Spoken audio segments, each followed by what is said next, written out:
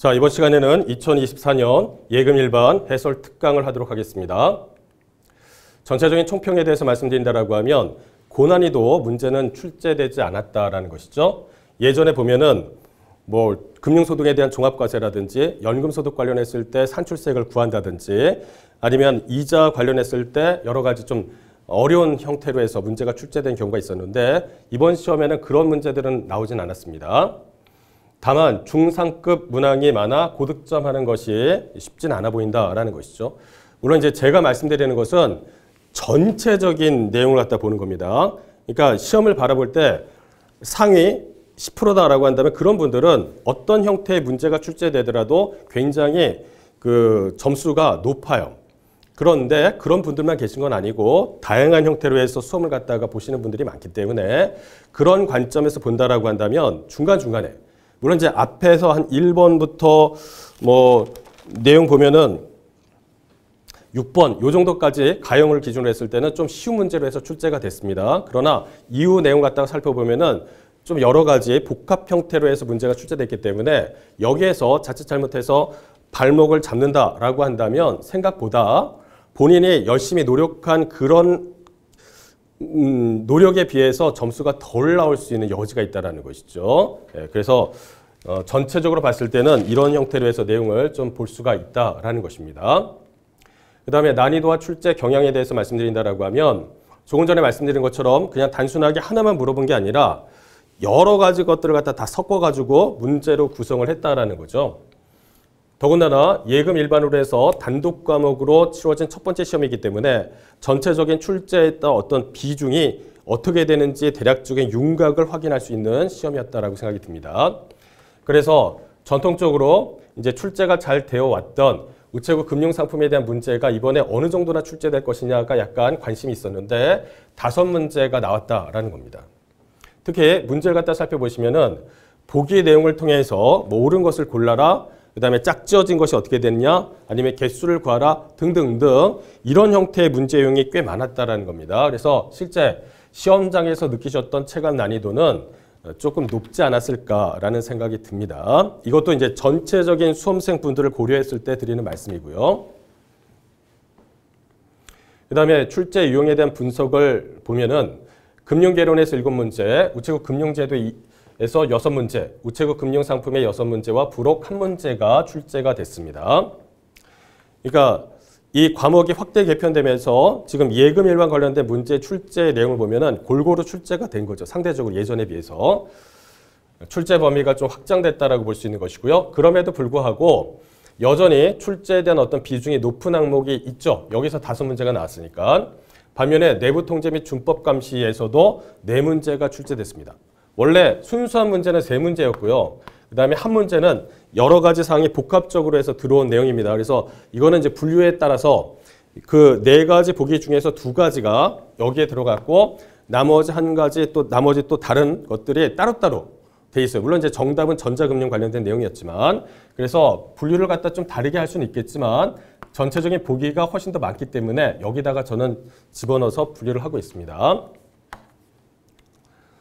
자 그러면 각각의 개별적인 내용 갖다가 살펴본다라고 하면 금융 개론에서 첫 번째 금융경제 일반의 기준금리와 환율에 대한 문제가 출제됐습니다. 두 번째 금융회사 금융상품에서는 이제 금융상품에 대한 내용을 갖다 물어봤죠. 세 번째 저축과 금융투자에 대한 이해, 달리와 복리, 투자 위험과 주식투자, 채권투자에 대한 내용이 나왔습니다. 네 번째 금융 일반 현황이 있는데 여기서 우체국 금융의 업무 범위가 문제로 해서 출제가 됐는데요. 이게 약간 이제 논란이 되는 부분이 뭐냐라고 하면 여기 이제 업무 범위라고 해서 제시한 내용 중에 신탁처럼 명확한 내용이 있어요. 그러니까 우리가 여기 내용 갖다가 살펴보시면은 예를 들어서 이제 대출이라든지 그다음에 신탁, 신용카드 등 관련했을 때는 일부 이러한 것들이 제한되어 있다라고 했었잖아요. 그런데 거기에 어떤 걸 갖다가 집어넣냐면 증권 계좌 개설이라는 내용이 들어갔다라는 거죠. 자, 이게 왜 논란이 되느냐라고 하면 우리가 일반적으로 관련된 내용을 갖다 학습을 어떻게 했냐면 증권 계좌 개설 대행이라고 해서 우리가 학습을 했다라는 거죠. 대행. 근데 대행이란 얘기를 갖다가 싹 빼놓은 상태에서 이것만 제시했기 때문에 실제 시험장에서는 상당히 고민할 수 있는 어떤 지점이 된다라는 거죠. 얘 때문에 숫자가 바뀌니까. 예. 그럼 이제 얘를 갖다 어떻게 판단해야 되느냐라는 겁니다. 그거와 관련했을 때 시험장에서 그 보는 시각이 굉장히 다양하게 존재할 수가 있어요. 그래서 비록 내용을 충분히 알고 있었음에도 불구하고 물어보는 내용이 정확하게 어떤 것인지에 대한 어떤 시각 차이가 있기 때문에 정답을 조금 비껴나가는 경우가 있을 수 있다는 겁니다. 그래서 제가 말씀드리는 건 뭐냐라고 하면 우리 시험에 이제기라는 내용이 있습니다. 이제기라는 것은 내가 생각한 바와 그 다음에 그 시험을 출제했던 출제위원 간의 시각의 어떤 차이가 있다라고 했을 때 그거에 대해서 확인해 달라는 내용이에요. 그래서 여러분께서 혹시 만약 조금 전에 제가 말씀드린 것처럼 그러한 시각 차이로 인해서 답을 고르는 데 있어서 조금 나는 이렇게 했었다라고 한다면 그 부분에 대해서 이의제기하는 것도 저는 괜찮다라고 생각합니다. 보통 이의 제기를 한다라고 하면 문제를 맞추신 분 입장에서는 왜 그거에 대해서 그렇게 하느냐라고 이제 좀 기분을 언짢아 하시는 경우들도 있는데요. 그렇게 하지 마시고 좀 반대 상황이었다라고 가정을 해보시면 여러분께서 만약 이 한 문제로 인해서 내가 당락을 좌우하는 데 있어서 결정적인 영향을 받을 수 있다라고 한다면 그 부분에 대해서 품고 있는 의문에 대해서 확인하고 이제 이거에 대해서 검증을 받으려고 하시지 않겠습니까? 그래서 조금 넓은 마음을 가지셔서 예, 혹시 그런 이런 분 이거에 대해서 이의 제기를 하신다라고 했을 때 아, 그럴 수 있다라고 좀 받아들여주셨으면 좋을 것 같아요. 정말 이제 인생을 거는 시험이지 않습니까? 우리가 그냥 단순하게 매번 뭐 1년에 여러 차례 시험을 보는 그런 자격 시험이 아니라 어떤 분들 같은 경우는 정말 직장을 근무, 근무하시다가 퇴사하시고 이 시험에 매진하시는 경우도 있단 말이죠. 그렇게 인생을 거는 시험에서 한 문제가 차지하는 그 중요성은 이루 말할 수가 없습니다. 그거 하나 때문에 내가 만약 붙을 수도 있고 떨어질 수도 있다는 겁니다. 그런 차원에서 내가 어떤 문제에 대해서 품은 의문을 갖다가 풀고자 이의제기 한다라고 한다면 거기에 너무 민감하게 반응하실 필요는 없고요. 넓은 마음으로 항상 이제 상대방 입장에서 한번 서보시고 내가 그런 상황이라고 하면 나는 어떻게 할 것인가라는 걸 한번 어 이렇게 되물어 보시면서 이거에 대해서 조금 생각해 주시면 좋을 것 같아요. 네. 왜냐하면 물론 이제 지금까지 제가 2012년부터 강의를 해왔는데 우편과 예금 보험 관련했을 때 이의 제기를 하더라도 그게 받아들여진 사례가 있었느냐라고 하면 없었습니다. 제가 직접 간접적으로 해서 이의 제기한 내용이 한 세 문제 정도 됐었거든요. 그럼에도 불구하고 물론 이제 내용상으로 보면은 좀 충분히 이 논란이 될 만한 내용이 있었음에도 불구하고 주로 이제 이 출제자 입장에서는 그걸 잘 받아들이지 않는 경향은 있기는 해요. 그러나 이런 식으로 해서 이의 제기를 하면은요. 출제자도 그 다음번 시험에서는 확연하게 뭔가 달라지는 게 보입니다. 그러니까 여러분이 이번 시험뿐만 아니라 다음 시험을 대비한다라고 했을 때 여러분이 품고 계신 여러 가지 의문이 있다라고 한다면 그런 것들을 한번 제기해 보시는 것도 저는 음, 나쁘지 않다라고 생각이 듭니다. 그래서 여기에 직접적으로 이해관계가 없으신 분들이라 하더라도 그런 부분에 대해서는 조금 이렇게 여유 있게 바라보시는 게 좀 필요할 것 같고요. 자, 이어서 우체국 금융제도라고 되어 있습니다. 예금 업무 개론이라고 해서 예금 채권의 양도와 제한 능력자 관련된 내용이 문제로 나왔습니다. 두 번째 보시면 내부 통제 및 준법 감시, 금융 실명 거래 및 비밀 보장에 관한 법률 등부터 시작해서 이런 것들이 쭉 있는데 요거는 말씀드렸죠 아까 이제 복합적인 문제였기 때문에 선제 두 개가 여기에 해당되고 나머지 각각 다른 쪽으로 해서 들어가 있었어요. 그래서 하나는 예금 업무 개론이었고 다른 하나는 전자금융 쪽의 내용이었었거든요. 그런데 이제 분류는 여기다 해놨습니다. 그 다음에 우체국 금융상품 관련했을 때 보시면은 여기에 나온 것처럼 이런 예금 관련했을 때 내용이 꽤 많이 나왔습니다. 그 다음에 체크카드 관련된 문제가 출제가 됐고요. 두 번째 우체국 금융 서비스 관련했을 때 제휴 서비스 관련된 내용이 나왔습니다. 그래서 여기 이제 부록 보시면은 우체국 예금 거래 기본 약관에 관련된 문제가 출제됐어요. 그래서 관련된 문제를 갖다 살펴보시면은 상당히 좀 까다롭습니다. 왜냐하면 지역적인 내용이 출제가 됐기 때문에 실제 시험장에서 이 문제를 딱 본다라고 하면 쉽지 않았다. 굉장히 어려운 수준의 문제였죠. 네. 자 그러면 기출을 통해서 우리가 과목을 어떤 식으로 해서 공략해야 되겠느냐라는 건데 보통 보면 이제 주요한 내용 위주로 해서 많이 출제됐기 때문에 항상 드리는 말씀 기본서 위주로 해서 학습을 갖다가 꾸준하게 하시는 게 필요하다라는 거죠. 회독을 많이 하면서 주요한 내용 위주로 해서 암기를 갖다가 명확하게 한다라는 게 제일 우선되는 겁니다. 그 다음에 이제 출제 비중이 높은 우체국 금융 상품이 있습니다. 이거는 분량에 비해서 출제되는 문항수가 압도적으로 많아요. 다른 거에 비해서. 그러면 여기에서는 그 분량이 많지 않기 때문에 세부적인 사항까지 철저하게 암기해서 관련된 시험을 갖다가 대비해야 된다라는 것입니다. 이런 것들을 고려하셔서 이제 이 예금 일반 관련했을 때 향후에 어떤 식으로 해서 이제 문제를 대비해야 되는지 그런 내용과 지금 현재 출제가 어떤 식으로 이러는지 간략하게 살펴보시면 도움이 되실 것 같습니다. 자, 그 다음에 이어서 여기 이제 관련된 문제를 갖다가 살펴보면은요. 첫 번째, 보기에서 기준금리에 대한 설명으로 옳은 것을 모두 고른 것은 이라고 되어 있습니다. 보기를 갖다 살펴보시면은 기억에 시중에 풀린 돈의 양을 조절하기 위해서 금융통화위원회의 의결을 거쳐 결정하는 정책금리라고 되어 있잖아요. 가장 중요한 거는 기준금리는 정책금리라고 했었습니다. 어디를 통해서요? 예, 금융통화위원회 의결을 거쳐서 한다라고 했었죠. 맞는 내용입니다. 내용번에 보시면 기준금리의 변경은 예금, 대출금리 등에 영향을 주지만 부동산 외화 등 자산 가격에는 영향을 미치지 않는다라고 했는데 아닙니다. 이것뿐만 아니라 이런 거에도 영향을 준다라고 했었으니까 옳지 않은 것이고요. 디귿번에 보시면 통상적으로 경기 침체 양상을 보이면 기준금리를 인하하죠. 그 다음에 경기가 과열 양상을 보이면 기준금리를 인상합니다. 자, 이 내용을 맞아요. 기준금리를 인하하게 되면 경기가 회복이 되죠. 반면에 경기가 과열 양상을 보인다. 기준금리를 갖다 인상하게 되면 경기가 진정된단 말이죠. 진정. 그래서 디귿번에 있는 내용은 맞습니다. 그 다음에 리을번에 보시면 일반적으로 기준금리를 인하하면 물가가 어떻게 돼요? 이건 상승을 하죠. 반면에 기준금리를 인상하면 물가가 하락한다라고 되어 있습니다. 따라서 옳은 것을 모두 골라라 라고 한다면 이제 기억하고 디귿 이렇게 해서 답을 고르시면 되겠습니다. 그 다음에 두 번째 문제 보시면 가로 안에 들어갈 내용을 바르게 짝지어진 것은 이라고 되어 있습니다. 외화가 국내로 유입되면 환율은 어떻게 될까요? 국내로 많이 유입됐다는 것은 공급이 많아졌다는 것이죠. 그럼 환율은 어떻게 해요? 하락하죠. 그러면 환, 나번에 보시면 환율에 대한 상승은 원화의 평가 뭐라고 해요? 절하라고 합니다. 절하. 환율이 상승했다. 예를 들어서 천 원에 1달러였다. 그러니까 1달러에 천 원이었는데 1달러에 1,200원 됐다라고 한다면 환율이 상승한 거잖아요. 그러면 그게 이제 원화 약세, 그 다음에 원화 평가 절하 이렇게 돼 있습니다. 그 다음에 우리나라는 가로 안에 환율을 표시하고 있다라고 해서 자국 통화 표시법이라고 했었으니까요. 바르게 짝지어진 것은 2번이 되겠습니다. 3번에 보시면 보기에서 저축상품에 대한 설명으로 옳은 거 모두 고른 것은 이라고 되어 있어요.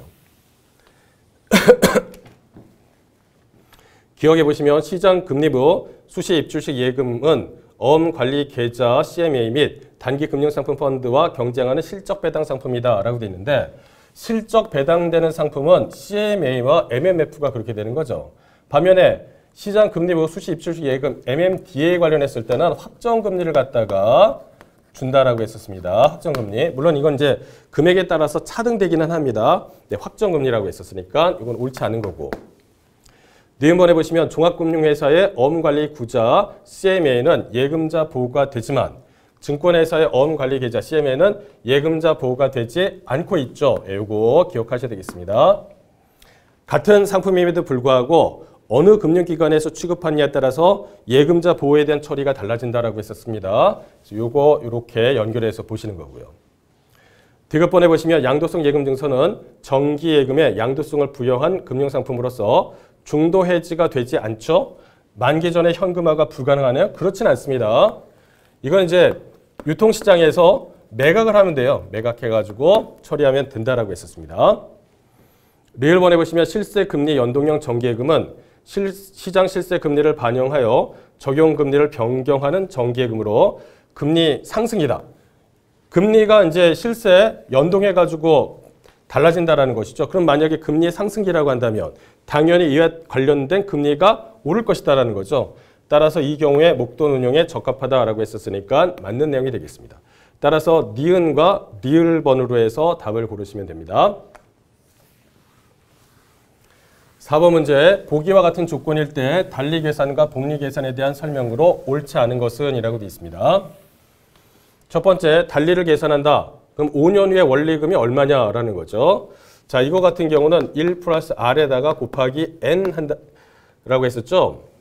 예, 이게 이제 5%라고 했습니다. 5% 곱하기 이게 5년이니까 그래서 125만 원 이렇게 되어 습니다 이거 같은 경우는 이제 원금에다가 항상 이자를 곱해가지고 총 투자 기간을 갖다가 반영하면 되니까 굳이 이렇게까지 계산하지 않더라도 아하 천만 원에 5%면 5만 원, 5만 원에 5년 하면 25만 원 이렇게 해가지고 구하실 수도 있고요. 그 다음에 복리로 계산한다라고 하면 이때는 1 플러스 R에 여기 제곱을 해서 들어가는 거잖아요. 제곱. 그래서 0.05에다가 5제곱을 해서 계산하시면 되겠습니다. 세 번째, 총 투자 기간 중 처음 1년 거치 기간에 대한 달리 계산과 복리 계산의 결과 원리금은 동일하지 않다라고 했는데 아닙니다. 동일합니다. 왜냐하면 첫 해는 요거 1을 한다든지 1 플러스 R에 1 제곱한다든지 결과는 동일해요. 그러니까 여기서는 동일하다, 동일하다, 동일하지 않다가 아닙니다. 동일하다라는 거예요. 동일하다. 그 다음에 네 번째 보시면 복리계산 시 72의 법칙에 따라 10년 소요 기간 동안에 현재 원금의 두배가 되려면 이자율보다 연 2.2%포인트가 더 높아야 된다라고 있잖아요. 내용 보시면은 지금 72를 갖다가 10년으로 나눠보시면 원금의 두배가 되려면 어떻게 돼요? 이게 7.2%가 돼야 된다는 거죠. 근데 지금 현재 여기 보기에서 제시된 이자율이 연 5%라고 되어 있으니까 얘와 얘 차이를 갖다 비교하시면 2.2%가 되는 거죠. 그런데 여기에 퍼센트 포인트라고 했었으니까 이렇게 해야지 내용이 이제 정확하게 들어가는 겁니다. 따라서 내용 중에서 옳지 않은 것을 골라라라고 한다면 3번이 되겠습니다. 5번 문제 투자의 위험에 대한 설명으로 옳지 않은 것은 이라고 되어 있죠. 1번에서 투자에서의 위험은 미래에 받게 되는 수익이 불확실성에 노출되는 정도를 의미하며 불화, 부 정적 상황 외에 긍정적 가능성도 포함된다라고 했는데 맞습니다. 여기서 리스크와 덴저 이렇게 되잖아 우리가 이제 리스크와 덴저라고 한다면 리스크는 지금 여기 나온 것처럼 부정적 상황 외에 긍정적 가능성도 포함된다라고 했어요. 그러나 덴저라고 한다면 그건 언제나 이제 부정적 상황, 손실만 발생되는 것들을 얘기하는 거죠. 그래서 보통 보험의 가입 대상이 되는 게 이제 덴저 관련된 그런 내용들입니다. 그래서 여기에 2번에 보시면은 분산 투자를 통해서 위험의 크기를 줄일 수 없는 부분을 분산 불가능 위험 또는 비체계적 위험이라고 한다라고 했는데 이게 체계적 위험이죠. 체계적 위험입니다. 그래서 분산 불가능 위험을 갖다가 체계적 위험, 분산 가능 위험을 갖다가 비체계적 위험 이렇게 표현하니까 이런 것들을 좀 잘 알고 있어야 될 것 같습니다. 분산 가능 위험 이걸 갖다가 비체계적 위험 이렇게 한다라는 거죠. 근데 분산 불가능 위험이라고 한다면 체계적 위험 이렇게 돼 있으니까 옳지 않은 것은 2번이 되겠고요. 세 번째 보시면 투자 레버리지 공식에 따르면 총 투자액 1천만 원 중에서 500만 원이 자기 자본일 경우에 레버리지가 2가 된다라고 했으니까 여기서는 예를 들어서 여기 자기 자본이고요. 여기에 통, 총 투자액이 들어갑니다. 그러면 1천만 원, 그 다음에 이게 500만 원 이렇게 되면은 2가 되는 거죠. 2가. 그래서 레버리지는 2배가 됩니다. 네 번째, 투자의 기대 수익률은 리스크가 없는 상태에서의 수익률인 무위험 수익률과 리스크에 대한 보상으로 증가하는 기대 수익률인 리스크 프리미엄을 합한 값과 같다라고 했었죠. 그래서 기대 수익률 계산이 어떻게 되느냐라고 한다면 무위험 수익률에다가 더하기 리스크 프리미엄 뭐 이렇게 된다는 거죠. 따라서 옳지 않은 것을 골라라 라고 한다면 답은 2번이 되겠습니다. 분산 불가능 위험을 갖다가 체계적 위험 이렇게 하니까요. 자, 이어서 6번 문제 보도록 하겠습니다.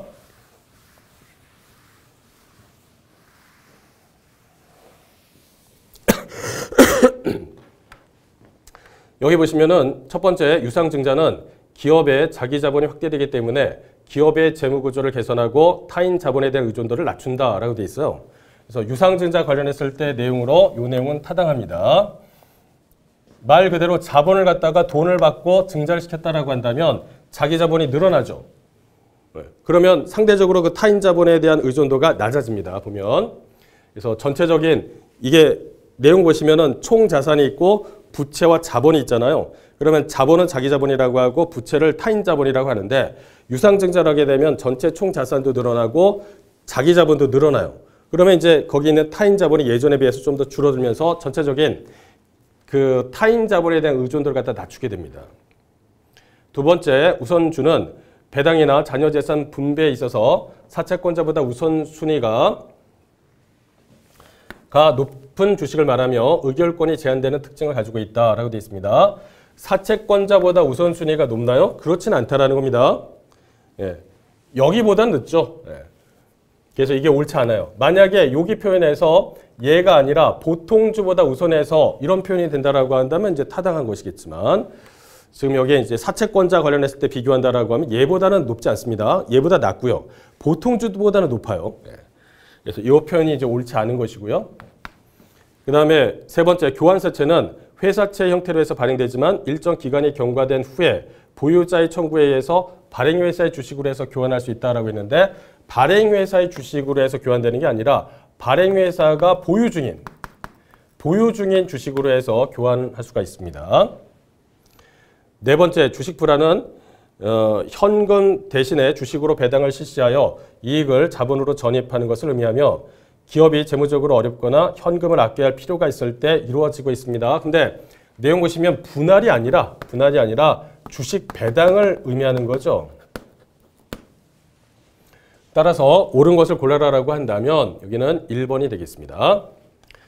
그 다음에 7번에 보시면은 자, 보기에서 우체국 금융 업무에 해당하는 것은 총 개수가 어떻게 되느냐라는 것도 있습니다. 자, 이게 이제 시험장에 가셨을 때는 상당히 고민하게 만드는 지점이 있었다라고 말씀드렸죠. 우선 이제 체크카드 보시면은 이거는 맞습니다.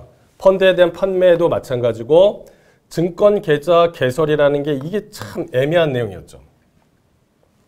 전자금융 서비스는 있고 우편한 대체 그 다음에 신탁 관련했을 때는 없으니까 얘는 논란의 여지가 없어요. 미음번은 아 이건 완전히 이제 얘는 관련된 대상에서는 제외되는 건 확실한데 문제는 증권 계좌 개설 관련했을 때 얘를 포함하는 게 맞느냐 아니면 얘를 제외해야 되느냐 여기서 갈등이 된다는 겁니다. 만약 여기 이제 출제자가 뒤에다가 대행이라고 했었다라고 한다면 논란이 없었을 것 같아요. 왜냐하면 증권계좌 개설 관련했을 때 대행 이렇게 됐으면 아, 우체국에서 그 업무를 갖다가 취급을 한다라는 게 확실해지니까. 더군다나 이 문제 같은 경우는 여러분이 어떤 거하고 조금 비교해야 되냐 화면을 좀 많이 뒤로 돌려볼게요. 쭉 가시면은 여기에 20번 문제 보세요. 우체국 금융의 제휴법에 대한 설명으로 해서 옳지 않은 거라고 하면서 2번에서 2번에서 우체국은 증권과 선물에서 업무 제휴 계약을 체결하여 전국의 우체국 창구에서 고객의 증권 선물 계좌 개설을 대행하고 있다라고 설명을 한단 말이죠. 그러니까 문제에서 얘 문제를 7번을 출제하는 데 있어서 얘와 연결된 다른 내용이 뒤에 가서 튀어나와요. 그러면 시험장에서는 더 헷갈립니다. 왜냐하면 이게 일관성이 있었다라고 한다면은 이게 조금 덜 고민됐을 텐데 그렇지 않고 얘를 포함해야 되느냐 빼야 되느냐라는 상황에서 지금처럼 이렇게 이렇게 한 다음에 얘를 대행하고 있다라고 한다면 아, 이걸 어떻게 해서 답을 골라야 되지? 라고 갈등된다라는 겁니다. 실제 시험장 가시면 다시 돌아올게요. 그래서 아마도 몇몇 분들은 증권계좌 개설 관련했을 때는 아 가능하다라고 해서 여기 나와 있는 다섯 개로 해가지고 이제 정답을 체크하신 분도 계시고 그 다음에 개설만 되어 있고 대행이란 얘기가 없으니까 적절하지 않, 않은 것 같은데 이렇게 생각해서 4, 4개로 해가지고 3번을 선택하신 분도 계실 거란 말입니다. 근데 이 문제를 보면서 왜 이렇게 뜨거운 감자를 문제로 해서 냈을까? 그냥 저 뒤에다가 대행을 붙여놓던가 아니면 얘를 갖다가 빼버려서 완전, 완전히 이제 논란의 소지를 없애거나 이렇게 하면 좋았을 텐데 그냥 증권 계좌 개설이라고 해서 뜨거운 그 형태로 해가지고 얘를 딱 집어넣었다라는 겁니다. 그래서 아마 이 문제로 인해서 얘를 몇 번으로 해서 선택해야 되느냐 상당히 고민되는 부분들이 있었다라는 것이죠. 근데 이제 기본적인 어떤 그 출제자의 생각은 뭐냐라고 하면 얘는 우체국 금융 업무 범위 내에 당연히 포함된다라는 거죠. 뒤에 대행이란 단어가 없더라도 그렇게 이제 출제자 입장에서는 생각을 한 겁니다. 근데 우리가 공부를 하다 보면은 어떤 거에 좀 더 집착을 하게 되냐면 워낙 세밀하게 출제한 경우가 많았기 때문에 이와 관련했을 때 하나의 단어가 있다 없다. 그 다음에 이와가 여기에 어떤 서술형 어미에 약간의 변화가 있음으로 인해서 전반적인 의미가 달라지는지 이런 것들에 대해서 굉장히 신경 써가면서 공부를 하셨다라는 겁니다. 그러다 보니까 지금 여기에 이런 식으로 해서만 딱 나왔을 때 얘를 우체국 금융 업무 범위 안에 포함돼야 되는지 아니면 대행이란 단어가 없기 때문에 제껴야 되는지 약간 고민되는 지점이 있었던 분들이 계실 거예요. 그래서 정답에 대한 내용은 이걸로 해가지고 나와 있는데요. 만약 여러분께서 이와 관련했을 때 이에 대한 제기를 있다 한다라고 하면 저는 이제 그런 것들 본인이 품고 있는 의문에 대해서는 해소하고 그거에 대해서 물어보고 그 다음에 가는 것이 바람직하다라고 생각이 듭니다. 예를 들어서 제가 어떤 문제를 갖다 냈어요. 그러면 그 문제에 대해서 다른 시각이 있을 수 있고 그 다음에 그 문제를 바라보는 데 있어서 어떤 이중적인 의미가 있다라고 한다면 여러분께서 저한테 이거에 이렇게 이렇게 되고 있으니 이거에 대해서 좀 더 어떻게 해석하는 게 맞을까요? 라고 물어보지 않겠습니까? 그런 것들을 물어보면 저도 보면 아, 좀 그런 오해, 오해 소지가 있을 수 있다라는 것들이 어떻게 판정이 돼서 고치거나 아니면 향후에 문제를 낼 때 좀 더 조심하는 그런 음, 기회가 된다라는 거죠. 네, 그래서 비록 이제 답은 어떻게 되냐면 다섯 개로 해서 나와 있지만 이 부분에 대해서 의문을 품는다라고 한다면 관련된 이의 제기를 통해서 한번 확인해 보시는 것도 필요한 것 같습니다. 그 다음에 여덟 번째 보시면 예금 채권의 양도에 대한 설명으로 옳지 않은 것은 이라고 돼 있죠. 첫 번째, 김영식 예금은 지명채권이므로 원칙적으로 그 양도성은 인정되고는 있습니다. 그러나 현실적으로 보면 양도금지 특약이 대부분 있다라고 했었죠. 따라서 예금주가 양도금지 특약을 위반해서 예금을 다른 사람에게 양도를 했다라고 한다면 그 양도는 무효라고 했었습니다. 세 번째, 우체국 양도 승낙서는 예금 채권에 대해서 권리가 경합한 때 누가 우선하는가를 갖다 결정하는 기준이 되느냐라는 건데 양도 승낙서의 확정일자를 통해 가지고 하는 거거든요. 확정일자. 얘를 통해서 하는 거지 양도 승낙서 그 자체만을 가지고 어떤 그 우선하는지에 대한 결정의 기준이 되는 것은 아닙니다. 그러니까 조금 더 세밀하게 이거에 대한 표현이 있어야 된다는 것이죠. 그 다음에 네 번째 보시면 실무상 양도인이 예금주가 양, 예금 양도 통지만 하는 경우에는 당사자 사이에서 유효하나 그 양도로 은행에 대항할 수는 없다라고 되어 있습니다. 이게 만약 양도금지 특약이 있다라고 한다면 통지만 해서 끝내서는 안 되고요. 통지하고 그거에 대해서 동의를 얻어야 된다라고 했었습니다. 근데 이를 위반했다라고 한다면 이거 관련했을 때는 당사자 사이에서는 유효하지만 그 양도에 대해서 은행에 대해서 대항할 수는 없다라고 했었기 때문에 자 여기서 옳지 않은 것을 골라라라고 한다면 동그라미 3번이 되겠습니다. 그래서 확 여기 양도 승낙서에 확정 일자를 갖다 받아둬야 된다. 그래서 그걸 통해 가지고 지금 여기에 나와 있는 이런 권리의 경합이 일어났을 때 누가 우선하는가를 갖다 결정한다라고 했었으니까 단순히 양도 승낙서 이렇게 하면은 좀 정확하지 않고요. 양도 승낙서에 확정 일자를 받아둠으로 인해서 그걸 통해서 이런 것들에 대한 결정하는 기준이 된다라고 보시면 됩니다. 자, 그 다음에 9번 문제가 나오는데 9번 문제는 좀 상당히 까다로운 문제라고 생각하시면 좋을 것 같아요.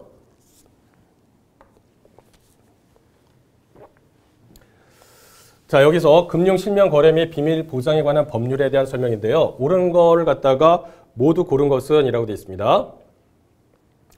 먼저 그 기억해 보시면 금융회사 등은 명의인의 서면상의 동의를 받아 명의인 외의 자에게 거래 정보 등 갖다가 제공한 경우에는 이 사용 목적은 기록 관리해야 할 대상이 아니다라고 돼 있어요.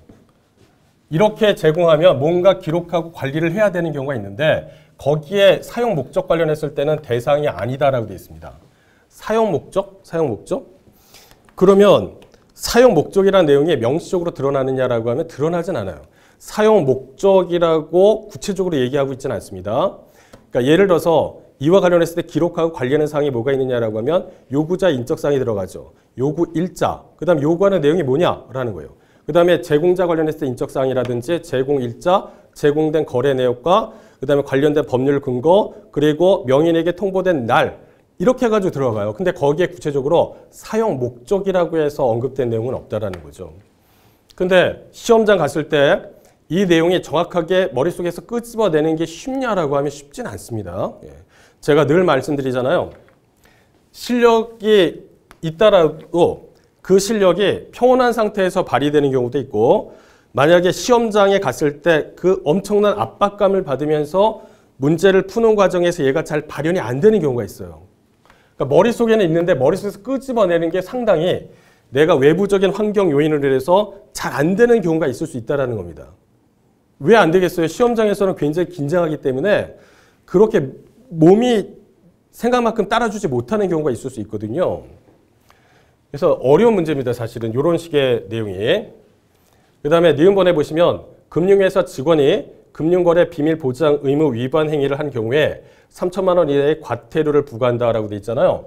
이게 비밀 보장 의무를 위반했다라고 한다면 다른 거에 비해서 훨씬 더 중하게 취급한다라고 했었습니다. 5년 이하의 징역 또는 5천만 원 이하의 벌금이라고 했어요. 그 다음에 그 외, 그 외 어떤 의무를 위반했다라고 한다면 3천만 원 이하의 과태료를 부과한다라고 했었으니까 좀 차이가 있습니다. 따라서 이거는 옳지 않은 것이고요. 이거는 옳은 겁니다. 근데 상당히 어려운 부분이고. 그 다음에 디귿번에 보시면은 특정인의 금융거래 사실 또는 금융거래 정보를 식별할 수 없는 자료라도 비밀 보장 대상이 된다라고 했는데 그렇지 않습니다. 이거는 보상, 비밀 보장 대상에서 제외한다라고 했었으니까 옳지 않은 내용이고요. 리을번에 보시면 금융회사 업무 종사자는 본인이 취급하는 업무에 의하여 직접적 또는 간접적으로 금융거래 정보를 알게 된 경우에 비밀 보장 의무가 있다라고 되어 있습니다. 직접적뿐만 아니라 이 경우에 간접적인 것까지도 전부 다 포괄하고 있습니다. 그래서 리을번이 맞습니다. 그래서 리을번이 맞기 때문에 내용 보시면 리을이 집중적으로 나와 있어요. 왜? 얘가 확실하게 이제 내용 갖다 살펴보면 우리가 그나마 좀 더 쉽게 접근할 수 있는 영역이기 때문에 그러면 기어 디귿이라고 했던 1번을 제외하고 여기에 나와 있는 리을을 중심으로 해서 이제 우리가 내용을 봐야 된다는 거죠. 근데 여기에 딱 맞게 여기에 이렇게 해가지고 2번을 선택하는 게 쉽냐라고 하면 아, 쉽진 않아요. 생각보다 어렵습니다. 그 다음에 10번에 보시면은 제한 능력자에 대한 설명으로 옳지 않은 것은 이라고 되어 있습니다.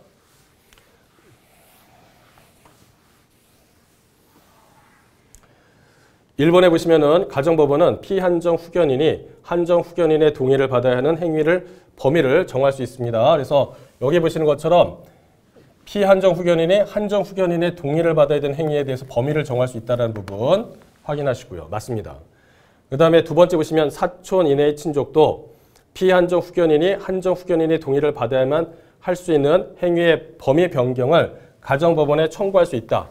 가정법원에 이렇게 범위에 대한 변경을 청구할 수 있는 사람은 본인, 배우자, 사촌인의 친족 이렇게 들어가 있고 그 다음에 한정 후견인, 그 다음에 한정 후견 감독인, 검사, 지방자치단체 장까지 해가지고 다 들어가요. 근데 그 중에 하나를 딱 집어낸 거예요. 그게 사촌인의 친족이라고 했었으니까 이런 내용이 시험장 가시면은 바로 팍팍 튀어나오냐 상당히 어렵습니다. 이것도 어려워요. 그 다음에 세 번째 보시면 피한정 후견인은 질병, 노령, 장애 등의 상유로 인한 정신적 제약으로 사무 처리할 능력이 부족하다라고 했잖아요. 부족하다. 피한정 후견인은 사무 처리할 능력이 부족하다. 그 다음에 피성년 후견인이다라고 한다면 사무 처리할 능력이 지속적으로 결여돼 있다. 이렇게 되죠. 지속적으로 결여돼 있다라는 것과 처리할 능력이 부족하다라고 했을 때에 그 앞에서 주어가 어떻게 되는지 한번 잘 봐세요. 피한정 후견인은 부족한 경우입니다. 한정 후견 개시 심판을 받은 자여야 된다라고 돼 있죠. 맞습니다. 네 번째 원칙적으로 행위 능력이 없는 미성년자 피성년 후견인 피한정 후견인은 단독으로 유효한 법률 행위를 하는 것이 제한된 제한 능력자다라고 되어 있습니다. 제한 능력자라는 것은 단독으로 유효한 법률 행위를 하는 데 있어서 제한이 되는 건데 주의하실 것은 행위 능력 관련했을 때 원칙적으로 미성년자는 없습니다. 피성년 후견인도 없어요. 그러나 피한정 후견인은 있어요. 후견이 있어요. 그래서 요 내용은 다르다라고 했었습니다. 행위 능력 관련했을 때 원칙적인 내용을 해서 접근한다라고 하면 미성년자, 그 다음에 피성년 후견인은 없어요. 그러나 피한정 후견인은 있다라고 했었잖아요. 그래서 이 표현이 옳지 않다라는 것이죠. 따라서 여기 10번 문제에 있어서 옳지 않은 것은 동그라미 4번이 되겠습니다. 근데 전반적으로 생각보다 이 부분에 대해서 명확하게 알고 있었다라고 한다면 설사 1번, 2번, 3번을 몰랐다 하더라도 답을 갖다가 선택할 수는 있겠지만 만약 이게 헷갈렸다라고 한다면 전반적인 내용 갖다가 우리가 바라보고 정답을 찾는 게 생각보다는 쉽지만은 않았다라는 겁니다. 그 다음에 11번에 보시면 자금 세탁 방지 제도에 대한 설명으로 옳지 않은 거라고 되어 있습니다. 자, 11번 문제도 뭐 그렇게 만만한 문제는 아니었거든요.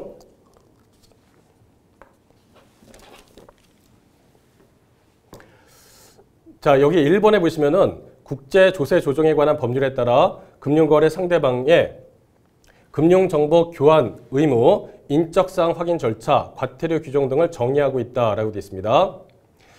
여기 나와 있는 국제 조세 조정에 관한 법률이 있잖아요. 요거는 어디에 나오는 거냐면 금융정보 자동 교환 관련했을 때 내용에서 나와요. 그러니까 자금 세탁 방지 제도 관련했을 때는 국제 조세 조정에 관한 법률에 따라서 이렇게 설명된 내용이 안 나옵니다. 그러니까 이게 1번이 옳지 않은 것이죠, 사실은. 그래서 금융정보 자동 교환 관련했을 때 내용에서 국제 조세 조정에 관한 법률, 여기 이제 근거 법에 따라 가지고 나온다라고 했었습니다. 그래서 그때 기본 이론 설명을 드리면서 우리가 관련된 근거법에 대해서 좀 더 신경을 써야 된다라고 했었는데 그때 요 내용에서 좀 특이하게 국제 조세 조정에 관한 법률이라고 말씀을 드렸었잖아요. 그래서 여기 나와 있는 11번에 자금 세탁 방지 제도 관련된 내용하고는 좀 다르다라는 겁니다.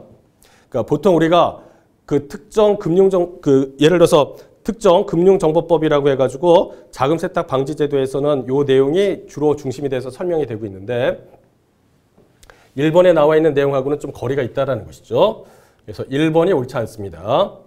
2번에 보시면 의심거래 보고를 허위로 하는 경우에 1년 이하의 징역 또는 1천만 원 이하의 벌금에 처하고 있습니다. 그래서 의심거래 보고 제도에 있어서 허위로 한다라고 하면 이런 식으로 해서 내용이 나온다라는 거죠. 그 다음에 고객 확인 제도에서는 고객의 실제 명의 이외에 주소, 연락처, 실제 소유자 등을 확인하는 제도다라고 되어 있었고요. 죄송합니다. 예. 어, 목 상태가 좋지 않아 가지고 음.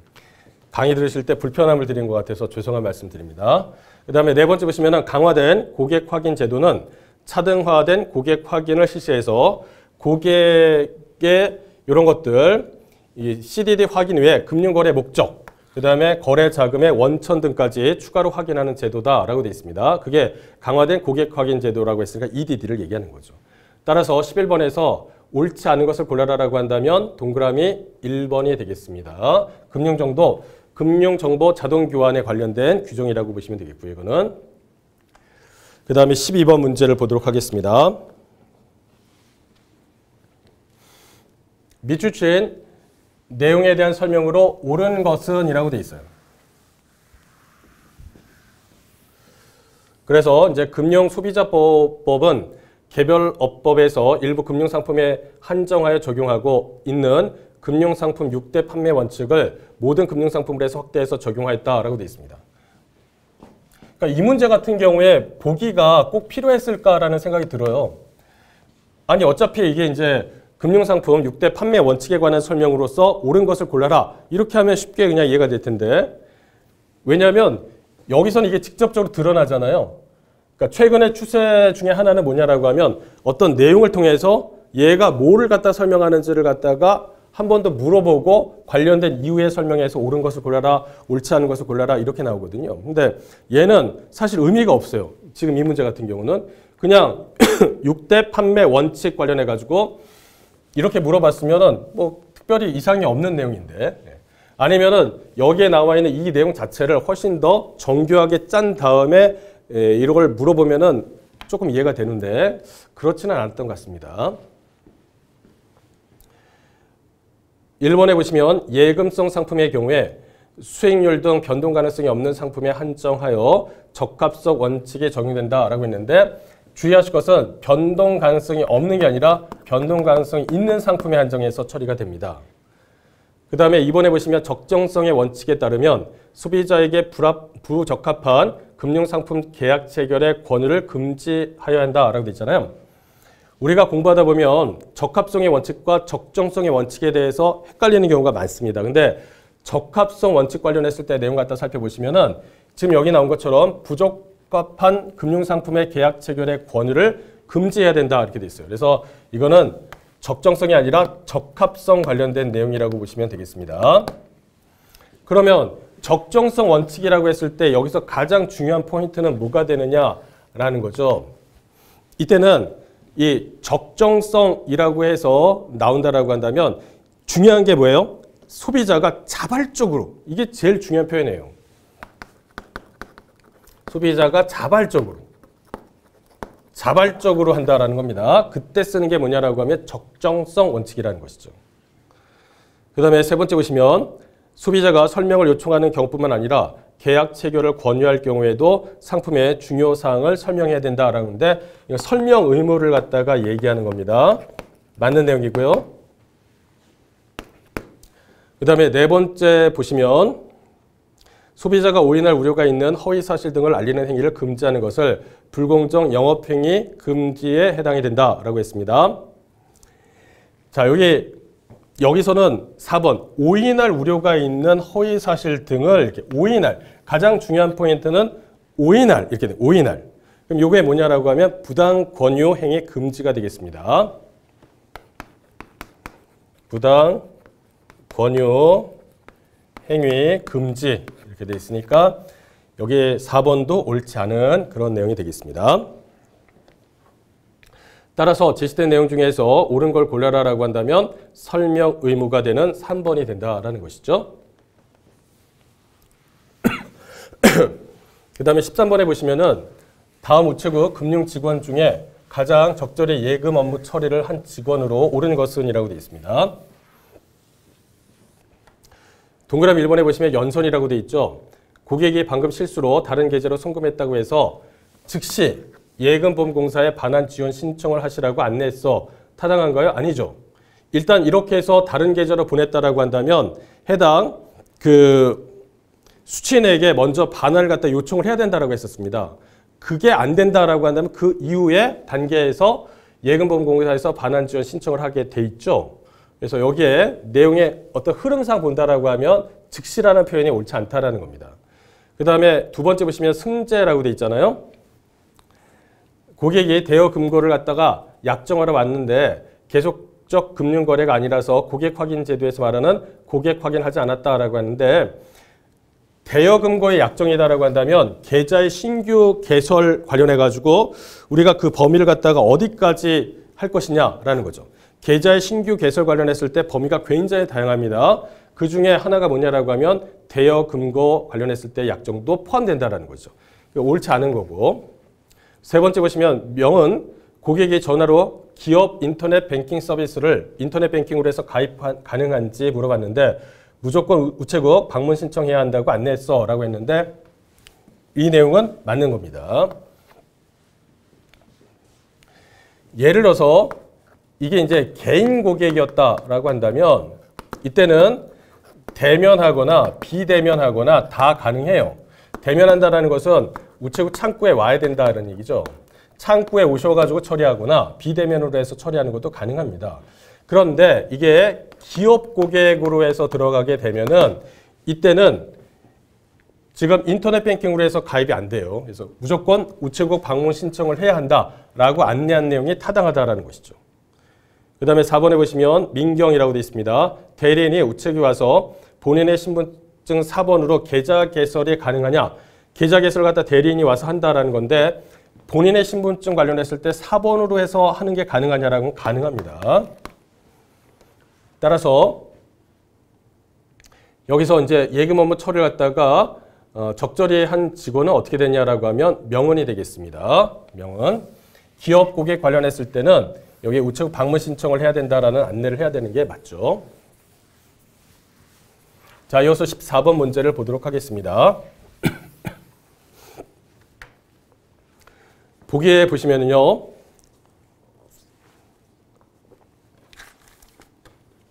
이 약관은 국민의 저축 의욕을 북돋고 국민 경제 생활의 안정과 공공 복리의 증진에 이바지함을 목적으로 한다라고 되어 있습니다. 그러니까 우리가 우체국 예금 거래 기본 약관을 갖다가 살펴보는데 보통 이제 조문 중심으로 해서 내용 갖다가 보다 보니까 이게 전반적으로 어떠한 목적으로 해서 관련된 기본 약관이 있는지에 대한 내용이 잘 본 적이 없어요, 사실은. 그런데 지금 내용을 갖다가 살펴보면은 과연 우체국 예금 거래 기본 약관에 이렇게 거창한 내용까지 들어갈 것이냐라는 거죠.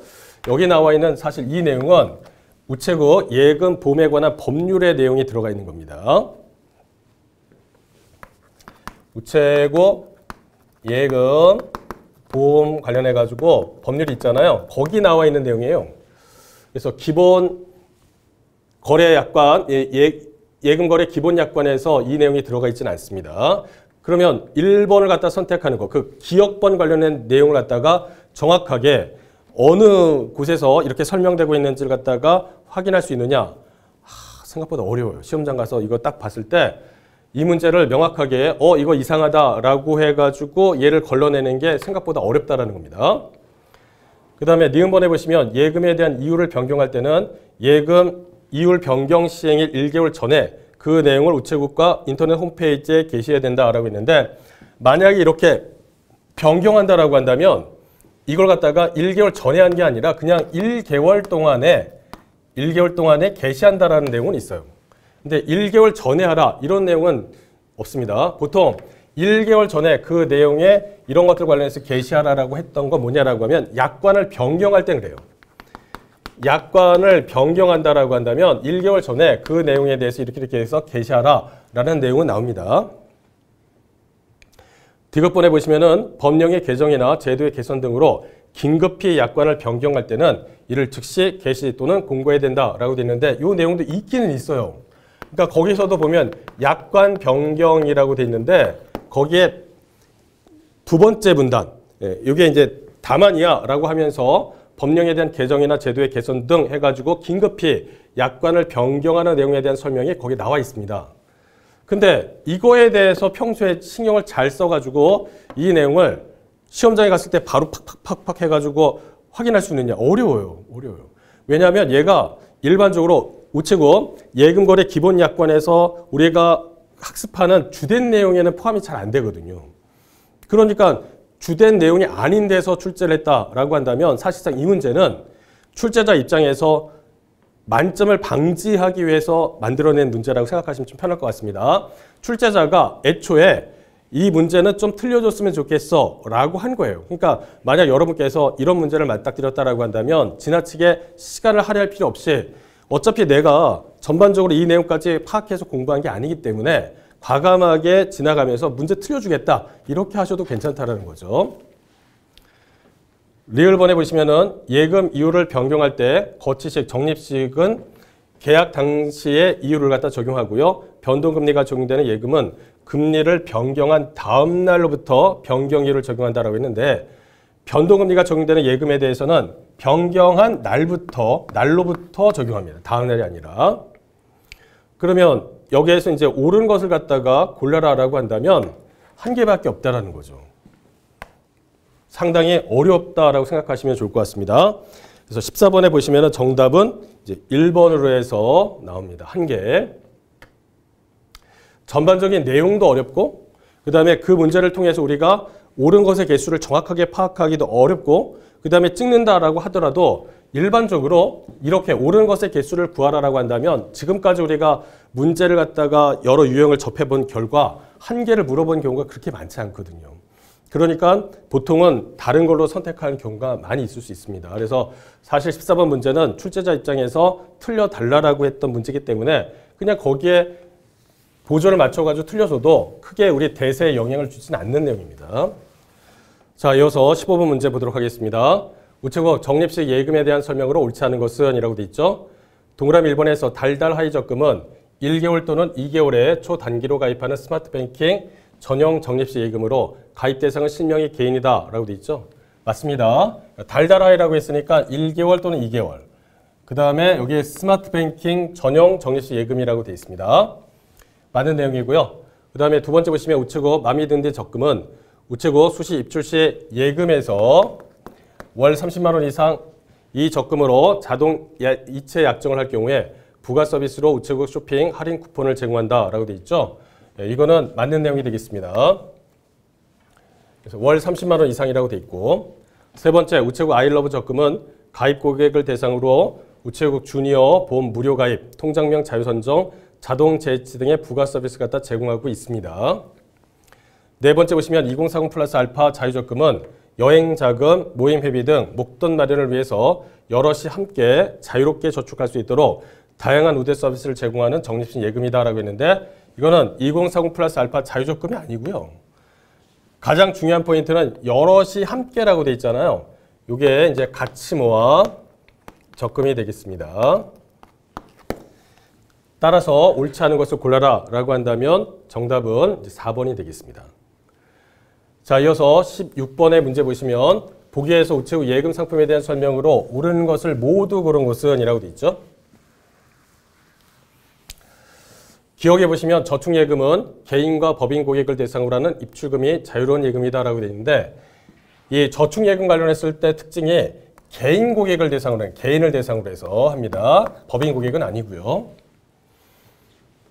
그 다음에 니은번에 보시면 듬뿍우대 저축예금은 개인 고객을 대상으로 해서 예치 금액별로 차등 금리를 적용하는 개인 MMDA 상품이다라고 되어 있죠. 맞습니다. 듬뿍우대 저축예금이 개인 고객을 대상으로 해서 예치 금액별로 해서 차등 금리를 적용하는 것이죠.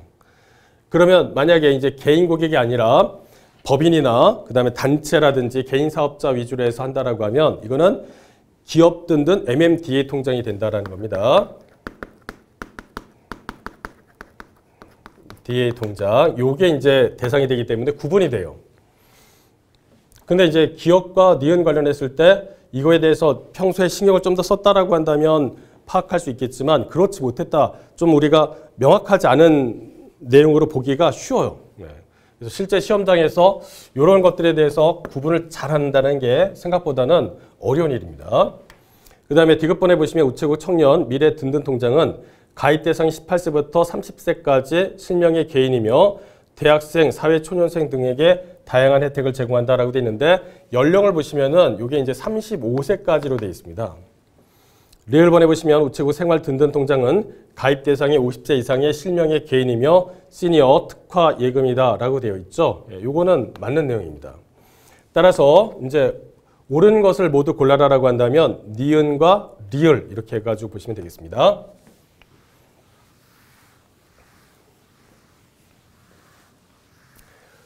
17번에 보시면 우체국 공익형 예금 상품에 대한 설명으로 옳지 않은 것은 이라고 되어 있습니다. 어, 동그라미 1번에 보시면은 우체국 새출발 자유적금의 새출발 행복 패키지. 여기에 새출발 자유적금에 있어서 패키지가 행복이 있고 희망이 있습니다. 그 중에서 기초생활수급자, 근로장려금 수급자, 장애수당 수급자에게 우대금리를 제공하는 공익형 적립식 예금이다라고 했는데 지금 여기에서 열거되고 있는 이런 내용들이 희망 패키지예요. 희망 패키지. 행복 패키지가 아니라. 그러니까 행복 패키지 관련했을 때는 우리가 뭐 헌혈자, 입양자, 다자녀 가구, 부모 봉양자, 농어촌, 읍면 단위에 거주하는 분들 등등등 이렇게 해서 내용들이 나오잖아요. 거기에 해당 사항이 없어요. 근데 이거는 이제 여기서 열거하고 있는 기초생활수급자 등 관련했을 때는 희망 관련했을 때 내용이라고 생각하시면 되겠습니다. 그 다음에 두 번째 보시면은 우체국 국민연금 안심통장은 가입 대상이 실명의 개인이며 국민연금 수급권자의 연금 수급 권리를 보호하기 위한 압류 방지 전용 통장이다라고 되어 있습니다. 이거는 맞는 거고요. 세 번째, 우체국 건설 하나로 통장의 가입 대상은 자격 확인 증명서를 제출한 건설업 종사자임을 알 수 있는 실명의 개인 또는 개인 사업자 이렇게 돼 있으니까 이것도 이렇게 봐주셔야 되겠습니다. 네 번째 우체국 장병 내일 준비 적금은 국군 병사의 군 복무 중 목돈 마련을 지원하고 금융 실적에 따라서 우대 금리를 제공하는 적립식 예금이다라고 돼 있어요. 그래서 여기까지 보시면은 여기에서 가장 옳지 않은 것을 갖다 골라라라고 한다면 동그라미 1번이 되겠습니다. 새 출발 희망 패키지라는 것이죠. 그 다음에 18번에 보시면 복귀에서 설명하는 우체국 거치시 예금을 바르게 짝지어진 것은 이라고 되어 있습니다. 가번에 보시면 가입기간 1, 월 1단위까지 나오죠. 그 다음에 이자에 대한 지급 방식에 보시면은 만기 일시, 월 이자 지급식 이렇게 나와 있습니다. 이걸 자유롭게 선택할 수 있는 고객 맞춤형 정기예금이다라고 했을 때 이거는 챔피언 정기예금에 대한 설명이고요. 가입 대상은 실명의 개인으로 인터넷 뱅킹, 스마트 뱅킹을 통해서 가입이 가능한 이렇게 보세요. 인터넷 뱅킹과 스마트 뱅킹 이렇게 우체국 창구는 여기에 나와 있지 않습니다. 온라인 전용 상품이며 온라인 예금과 적금의 가입, 자동이체 약정, 체크카드 이용 실적에 따른 우대 금리를 제공하는 정기예금 상품이다라고 한다면 뭐겠어요? 이포스트뱅크 정기예금이다라는 거죠. 따라서 이제 답은 3번이 되겠습니다. 물론 이제 우체국 편리한 이 정기예금 관련했을 때 디지털 정기예금이긴 하요. 근데 여기에 특징은 이제 보너스 입금이라든지 그다음에 그 어떤 비상금 출금 이런 개념이 아주 여기서 가장 핵심적인 내용이거든요. 그런 것들에 대한 내용은 없으니까 따라서 이제 여기에 나와 있는 나의 이렇게 해서 얘기하고 있는 특징적인 내용은 뭐냐라고 하면 이 포스뱅크 정기예금이 되겠습니다. 자, 19번에 보시면 우체국 체크카드에 대한 설명으로 옳은 것은 이라고 했는데 이것도 좀 어렵습니다. 물론 다른 보기가 어렵다 하더라도 내가 알고 있는 가장 확실한 하나만 있어도 답을 맞출 수는 있습니다. 그러니까 예를 들어서 2번에 나와 있는 내용 보시면 법인용 체크카드의 발급 대상 관련했을 때 주의하실 것은 이때 말하는 법인이라는 것이 우리가 알고 있는 법인 그런 형태만 되는 게 아니라 개인 사업자나 고유번호 또는 납세번호가 있는 단체까지도 다 포함한다라고 했었지 않습니까? 그래서 2번만 확실하게 정리가 돼 있다라고 한다면 답은 맞출 수는 있어요. 근데 만약에 이게 명확하게 구분이 안 돼 있다라고 한다면 나머지 전체적인 내용에서 굉장히 어려운 내용을 해서 물어봤기 때문에 답을 고르는 게 어, 이렇게 만만하진 않았었습니다. 일단 1번에 보시면은 법인용 체크카드의 기본 사용 한도는 1, 1천만 원, 월 2천만 원 이렇게 되는데 기본 사용 한도에 보시면 여기 600만 원입니다. 600만 원. 그 다음에 최대 사용 한도에 있어서는 1, 1억 원이고요. 그 다음에 월 3억 원이다. 이렇게 돼 있거든요. 근데 이거는 예전에도 한번 출제가 됐었어요. 그런데 지금처럼 기본 사용 한도 관련했을 때 이런 식으로 금액적인 부분을 물어봤을 때 바로바로 문제를 맞출 수가 있느냐. 아, 어려운 일이에요. 사실은. 어렵습니다. 그 다음에 세 번째 보시면 개이득 체크카드는 음식점, 대형마트 5%, 약국과 골프가 10%, 영화와 숙박 15%의 할인 등 생활용 실속 혜택을 제공하고 있습니다. 근데 이게 개이득이 아니라 뭐예요? 찾아보시면 브라보예요, 브라보. 브라보라고 되어 있다는 거죠.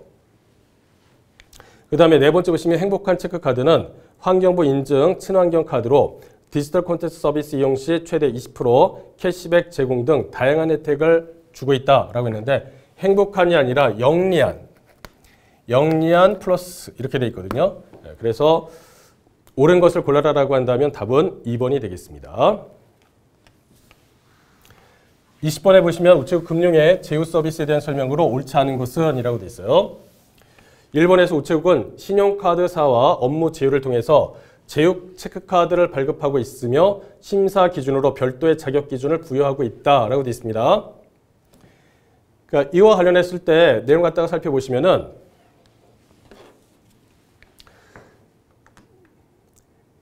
체크카드를 갖다가 발급한다라고 돼 있어요. 체크카드. 제휴 체크카드. 근데 심사 기준으로 별도의 자격 기준을 부여하고 있느냐? 자격 기준이 없습니다. 이게 없어요. 없어요. 그러니까 신용 불량자라도 가능하죠. 관련된 체크카드를 갖다가 발급받는다라고 한다면 만약에 이 문제가 이제 제휴 신용카드였다고 한다면 제휴 신용카드라고 한다면 이때는 별도의 자격 기준을 부여하고 있다라는 게 타당하겠지만 지금 제휴 체크 카드라고 있기 때문에 이게 자격 기준이 없어요. 네. 따라서 옳지 않은 것을 골라라라고 한다면 1번이 되겠습니다. 그 다음에 두 번째 보시면 우체국은 증권 선물회사와 업무 제휴 계약을 체결하여 전국의 우체국 창구에서 고객이 증권 선물 계좌 개설을 대행하고 있다라고 되어 있습니다. 그러니까 이게 7번 문제를 갖다 판단하는 데 있어서 저 뒤에 또 그와 연결된 어떤 내용이 등장을 했다라는 겁니다. 그러면 얘를 통해서 내가 그 앞에 봤던 내용이 얘를 갖다가 포함시켜야 되는 업무인지 그 다음에 아닌지 이게 더 헷갈리는 경우가 많아요. 그러니까 원래 좋은 문제는 뭐냐라고 하면 하나의 내용은 하나의 내용만 물어보는 게 가장 이상적입니다. 하나의 내용이 여기하고 저기에 결쳐가지고 다양하게 물어보는 거는 출제 입장에서는 바람직하진 않아요. 근데 여기는 이제 이런 내용이 있으니까 우리가 7번 문제를 답을 고르는 데 있어서 여러 가지 좀 혼란을 주는 부분이 없잖아 있다라는 거죠. 일단 이 내용 자체는 맞습니다.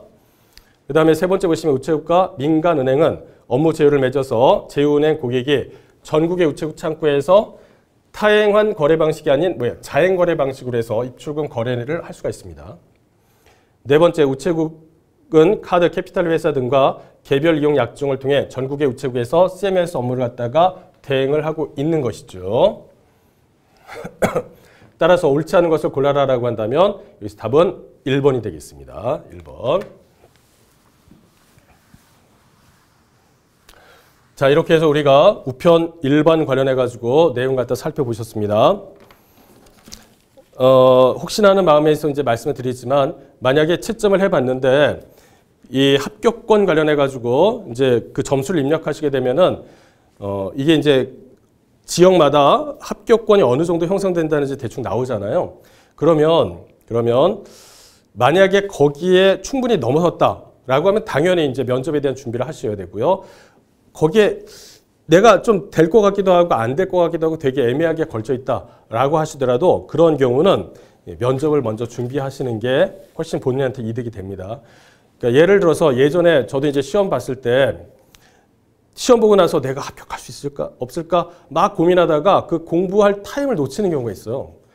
근데 그게 잠깐 방황하는 게 아니라 뭐 한 한 주 정도 방황하는 게 아니라 그거 가지고 계속 신경을 쓰다 보니까 한 달이 그냥 훌쩍 지나갑니다. 그래서 한 달 뒤에 발표를 해서 보니까 어 붙었네. 그런데 준비가 늦은 거예요.